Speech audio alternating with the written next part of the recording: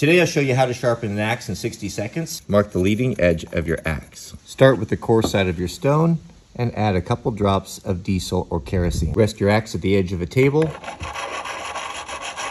and start in a circular motion. Once you've completed the coarse stoning of both sides, flip over to the fine. Your last few passes should be done with a very light stroke.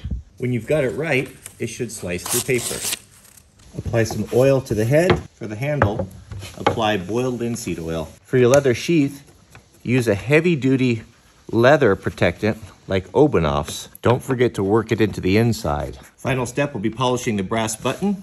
Use your favorite metal polish.